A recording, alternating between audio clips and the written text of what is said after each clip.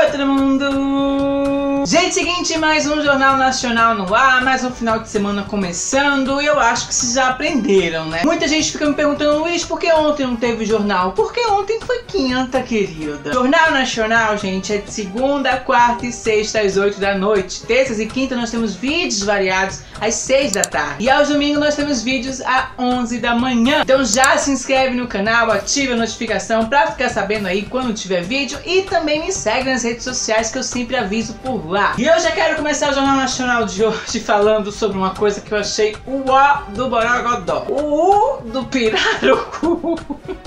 Seguinte, ontem foi dia das mulheres, né? Parabéns, mulheres, hormonas maravilhosas. Só que aí, o que, que o McDonald's fez? Logo o McDonald's, bicho, meu, meu lugar favorito pra comer. Em comemoração aos Dias das Mulheres, o que, que eles fizeram? Deram aí um bônus pras meninas? Deram um dia de beleza? Deram o quê? Um, um curso maravilhoso que elas escolherem? Um dia de folga aí remunerada? Nananina, não.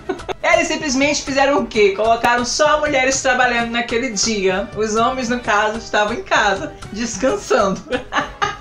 dia das fucking mulheres. Eu não sei, McDonald's, se eu dou na cara de vocês ou se vocês batem nas suas próprias caras. Porque é melhor, bicho, pra não ser processado. Gente, é surreal. É como se no meu aniversário, ao invés de as pessoas me darem presentes, elas derem pra outras pessoas. Porque é o meu aniversário. Se bem que no meu aniversário eu também não ganho nada. Então, estou na merda de qualquer jeito. Mas enfim, ontem também nós tivemos a apresentação da nossa maravilhosa Ellie Broke aí cantando Perfect. E gente, a gente sabe que a Ellie é um brolinho, a gente sabe que ela é maravilhosa, a gente, tudo isso a gente já sabe. Mas eu ainda consigo me surpreender com o talento da Ali. A Luísa, a voz dela é normal, ela canta aí normal. Querido, quem canta normal sou eu. A Ali é cantoríssima e eu posso provar.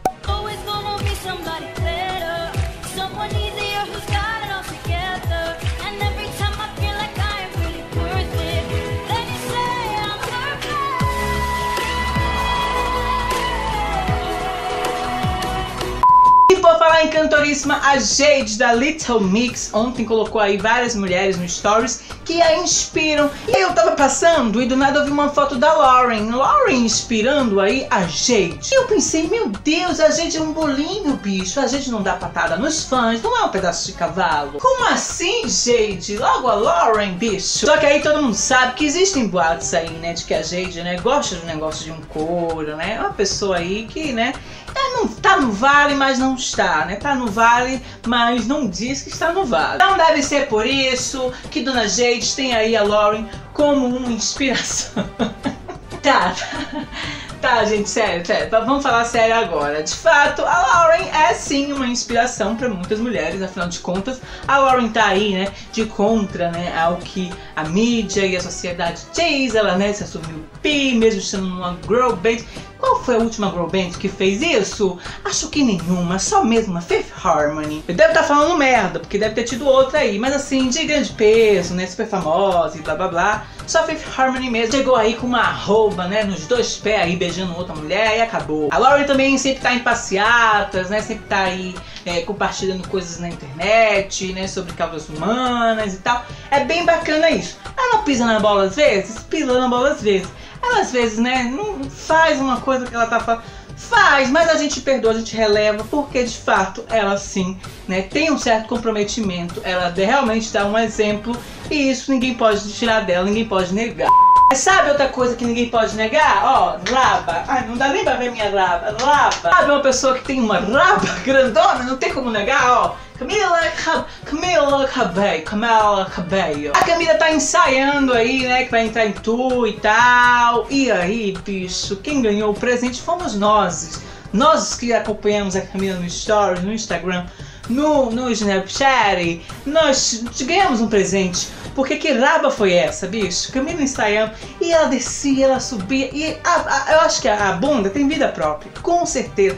É negócio da vida própria. E lógico que com isso todo mundo ficou sedento. Muitos choraram, né? Não foi pelos olhos. Muitos engravidaram. Eu mesmo estou aqui, ó. Estou, estou grávido, com certeza. É da Camila Cabello. Leva que é seu, Camila. Falar em Camila aí, daqui a pouco eu vou falar sobre outro assunto aqui, mas enfim, vamos falar sobre Taylor Swift, né? Que Camila vai sair em tour com a Taylor.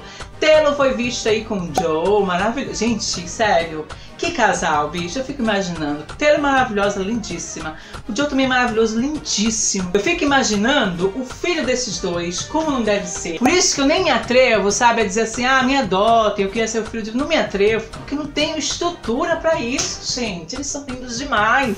Estavam aí em Malibu. Taylor, lógico, né, esqueceu o Reputation. Ah, era Reputation no churrasco.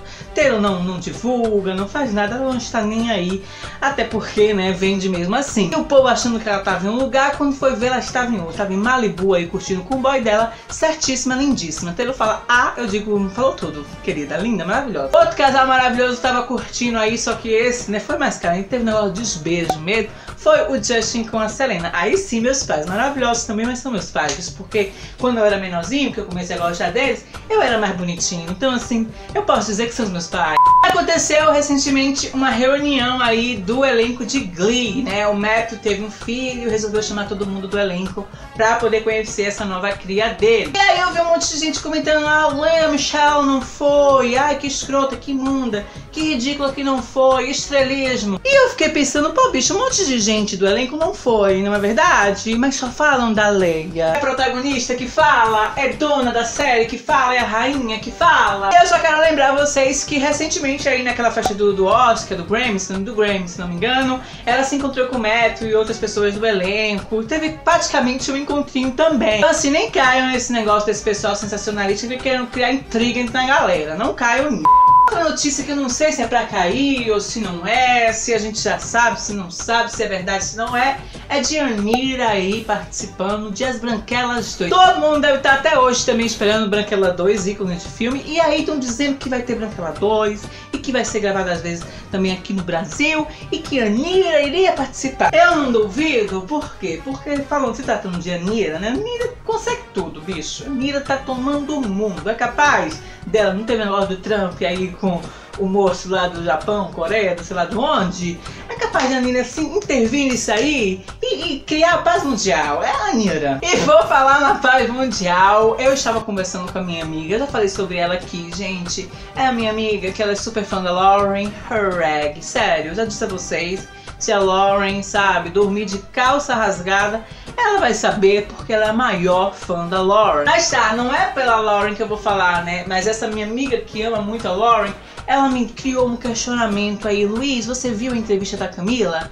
Que ela disse que não gosta de batons vermelhos, pô, mas ela gosta de mulheres fortes. E eu fiquei logo atento. Camila dizendo que gosta de mulheres fortes. Ó, a revista perguntou a Camila algum arrependimento de beleza e ela disse: a única vez que usei um batom vermelho, não gosto de batons fortes apenas de mulheres fortes. Aí, gente, a gente volta aquele meme. Amiga, eu quero te defender. Camila, eu quero te defender, bicho. Como é que eu faço pra te defender? Infelizmente, gente, ó, não tem como. Vou lavar as minhas mãos. Tem que lavar as mãos, bicho.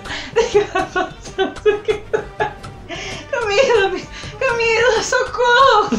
E completando ainda isso tudo, porque não acaba aí, Camila ainda falou da Hailey Kiyoko, sei lá o nome daquela menina, bicho. Aquela, né, que, enfim, fez Lemonade Mouth. Ela sempre faz uns clipes aí, né, de meninas se amando e tal. E aí Camila disse, ah, eu gosto muito do que ela faz, né, que mostra as meninas se amando. Não é nada, nada sexual, mas é algo né, de amor e tal. Anotado, amor.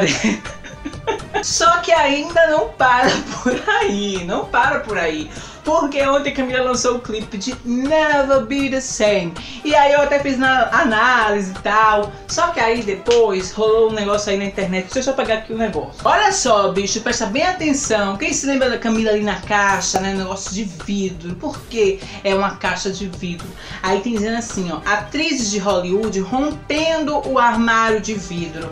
É uma expressão utilizada para descrever uma situação de pessoas que são são gays ou lésbicas, mas que não se assumem oficialmente por medo de represália. Então assim, é só fazer o cálculo, né? Armário de vidro, né? Praticamente aquela caixa ali de vidro que a Camila vive se metendo, porque ela também fez isso em Cry in the Club. Então assim, Camila, pode vir, querido, não vou te repreender, jamais. É sempre bom lembrar, gente, que isso daqui, né, são teorias das conspirações, né, coisas de FBI, né, muitas vezes pode ser realmente coisas da nossa cabeça. Mas que tem sentido? Tem. Né, Camila às vezes não, não se ajuda, né? Às vezes quer imprimir uma hétero, né? Quer botar um negócio ali num negócio de ravando um rapaz, quer imprimir, quer sair na praia aí com o boy dela dando uns beijos, quer imprimir, mas a gente não consegue acreditar, Camila. Mas nada contra, nada contra, pelo amor de Deus, tenho até amigas que são héteras, são maravilhosas, sabe? Deus benze. E tá, pra provar, é pra provar você, cara amiga telespectadora, que tá sedenta aí pela Camila, vamos fazer o seguinte, vou colocar aqui na lambida do dia de hoje o Justin. Ah, Luiz, mas eu sou sapatona. Eu cheiro o couro a 30 km de distância. Eu tô chegando, você já tá sentindo o cheiro. Calma, amiga telespectadora. Vou botar o Justin. Vamos, vamos fingir, vamos fazer a Camila. Vamos fazer a Camila. Vamos lamber o Justin. Ele é maravilhoso. Você não vai perder nada com isso. Vamos. É melhor. Ah, Luísa, você não de, de, de hoje. Você tá forçando a sexualidade das pessoas. Deixa a Camila em paz. Você é imunda. Querida, eu não tô mexendo com a Camila, meu mel. Esse vídeo ela nunca vai ver. Mesmo que veja, não sabe falar a minha língua. Mesmo que fale, ela, a última coisa que ela quer saber é o que eu acho ou não acho dela. Se citou é sua, eu já falei aqui que o negócio é teoria, a gente não sabe da verdade. Na verdade, gente, a gente não sabe. Mas agora eu quero saber de gente, o que, é que vocês acham de tudo isso? Comentem embaixo que eu quero ficar sabendo. A gente se vê no próximo vídeo, então é isso. Falou, já vou.